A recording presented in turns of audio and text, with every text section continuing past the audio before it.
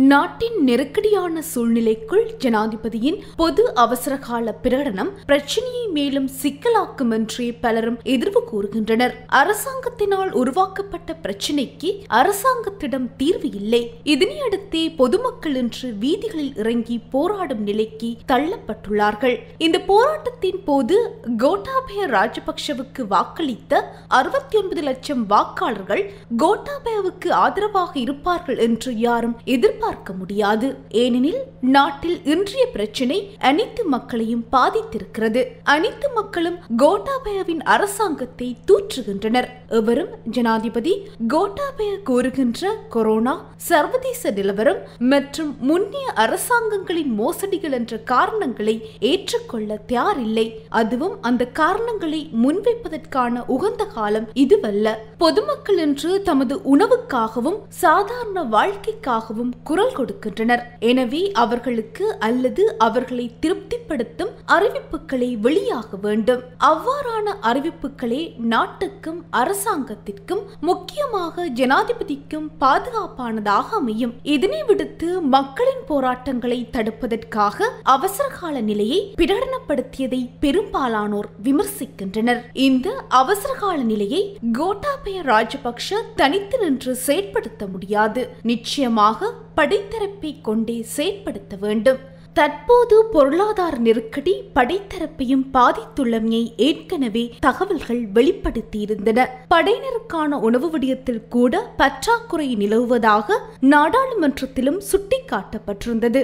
எனவே தாமும் பாதிக்கப்பட்டு தமது குடும்பத்தினர் சார்ந்த சமூகமும் பாதிக்கப்பட்டுள்ள நிலையில் அதனை தமது எதிர்ப்பால் வெளிக்காட்டும் பொதுமக்களுக்கு எதிராக படைத்தரப்பினர் முழுமனதுடன் செயற்படுவார்களா என்பது கேள்விக்குறியானதாகும். அவ்வாறு அவர்கள் கடுமையான முறையில் அவசரகால பிரகடனத்தை அமுல்படுத்தினால் அது தற்போதுள்ள பிரச்சனையை மேலும் உக்கிரப்படுத்திவிடும். அது ஒரு ராணுவ ஆட்சியாக கூட கருதப்படும் நிலை உருவாகிவிடும். எனவே அதனை கோட்டாபய ஜனாதிபதி சிந்தித்தாரா என்பது தெரியவில்லை. மாறாக அவசரகால நிலை பிரகடனத்தின் போது படைத்தரப்பு உரிய முறையில் சட்டத்தை செயற்படுத்தாது போனால் அது ஜனாதிபதியின் பதவிக்கே ஆபத்தை கொண்டு வந்துவிடும். இந்த வேளையில் இந்தியா கோட்டாபய ராஜபக்ஷவுக்கு உதவி செய்யும் என்றும் படைகளை அனுப்பும் என்றும் கதைகள் சொல்லப்படுவது களத்திற்கு பொருத்தமானதாக தெரியவில்லை. ஏனெனில் இந்தியா தற்போது இலங்கையில் கிடைத்த வாய்ப்புகளை இறுதி வரையில் தக்க வைக்கவே முயற்சிக்கும். இலங்கை மக்களின் நன்மதிப்பை மேலும்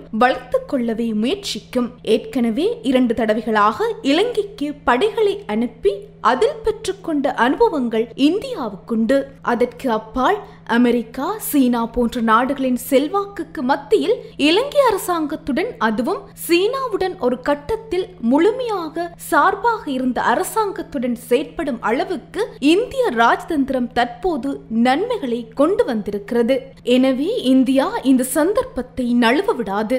மாறாக நாட்டில் அடுத்து வரும் நாட்களின் தீவிரத்தை கருத்தில் கொண்டு இந்தியா ஆயிரத்தி தொள்ளாயிரத்தி எண்பத்தி ஏழாம் ஆண்டு வடக்கு மக்களுக்கு மாத்திரம் முன்னெடுத்த உணவு ராஜதந்திரத்தை இந்த முறை இலங்கையின் அனைத்து மக்களுக்கும் முன்னெடுத்து இலங்கையின் அனைத்து மக்களின் நன்மதிப்பையும் பெறும் செயற்பாட்டையும் முன்னெடுக்கும் வாய்ப்புகளை மறுக்க முடியாது. இந்த நிலையில் நாட்டில் அமல் செய்யப்பட்டுள்ள அவசரகால நிலை பிரகடனம் காரணமாக இலங்கையின் நன்மதிப்பு சர்வதேச ரீதியில் மீண்டும் கடுமையாக பாதிக்கப்படலாம். இது தற்போதைய அரசாங்கத்தை ஆதாள பாதாளத்துக்குள் தள்ளிவிடும். மறுபுறத்தில் அரசியல் நிலைமையை நோக்கினால் காப்பந்து அரசாங்கம் ஏற்படுவது தவிர்க்க முடியாத ஒன்றாக இருக்கிறது. காப்பந்து அரசாங்கம் ஒன்று ஏற்படுத்தப்படுமானால் ஜனாதிபதியின் நிலைப்பாட்டிற்கு அங்கு கேள்வி எழுந்துவிடும் அபாயம் உள்ளது. குறிப்பாக அனைவராலும் பேசப்படுவதை போன்று ஐக்கிய தேசிய கட்சியின் தலைவர் ரணில் விக்ரமசிங்கவின் தலைமையில் அனைத்து கட்சிகளின் காப்பந்து அரசாங்கம் அமையுமானால் அந்த அரசாங்கம் ஜனாதிபதிக்கு எதிராக குற்ற பிரேரணையை கொண்டு வந்து ஜனாதிபதியை பதவியிலிருந்து அகற்றும் ஆபத்தையும் நிராகரிக்க வைக்க முடியாது.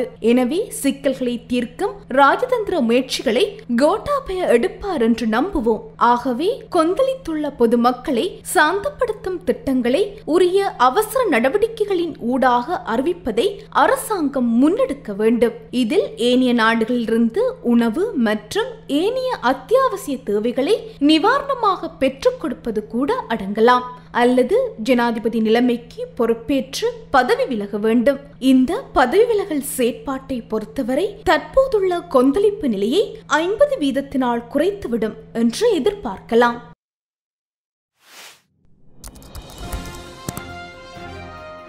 அனைத்து செய்திகளையும் பார்க்க லங்கா ஸ்ரீ நியூஸ் சேனலை சப்ஸ்கிரைப் பண்ணுங்க. உடனுக்குடன் பார்க்க வேண்டுமா? அப்போ கீழிருக்கும் பெல் பட்டனை கிளிக் பண்ணுங்க.